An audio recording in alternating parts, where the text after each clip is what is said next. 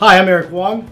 When you're implementing your USB 3.1 Gen 2 host system, you're going to want to make sure that it interoperates properly with all those existing XHCI host drivers and that it can run all the different traffic types uh, robustly.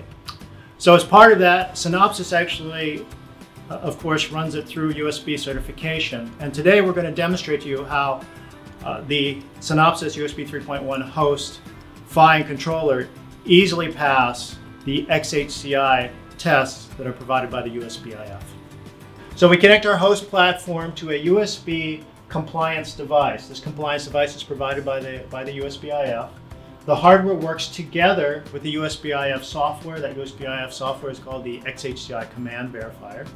Together, they run a series of tests running different kinds of traffic. And different kinds of traffic means different packet sizes, different transfer sizes, and different transfer types, like interrupt for mice, uh, bulk transfers for mass storage or printing, and isochronous transfers for video streaming or audio streaming.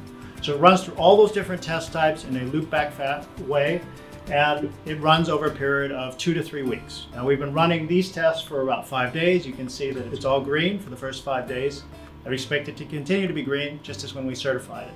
So what this shows is, is that we can work with existing XHCI software drivers, and it also helps us test and demonstrates the robustness of the controller to run all these different transfer types um, at, at, different packet sizes. So there you have it. You can see how we pass USB 3.1 Gen 2 host certification using those XHCI command verifier tests. Thanks for watching.